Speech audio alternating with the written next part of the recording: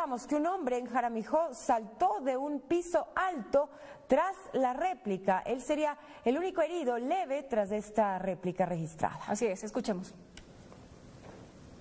las unidades de salud tampoco han sido afectadas. Tenemos unos reportes de daños menores.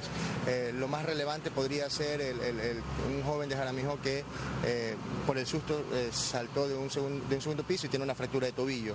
Pero es, lo más relevante, lo otro es, los otros, las otras atenciones son casos menores en realidad. ¿Las actividades escolares en la provincia? Son con absoluta normalidad. Las clases en las unidades educativas que, estaban dando, teniendo clases normales, las van a tener, no ha habido suspensión de clases. En todo el país es la disposición del señor presidente. ¿Cómo va el proceso de traslado ya un poco de las personas que están en los albergues improvisados a los albergues con servicios básicos ya instalados? Bueno, tenemos eh, reportes en, algunos cantones, ¿no? Eh, Pedernales está todavía eh, habilitando el albergue oficial. tenemos albergues que están siendo atendidos, pero sin embargo, la idea es establecer albergues ya mucho más, eh, más grandes para concentrarlos eh, a las personas damnificadas en un solo punto.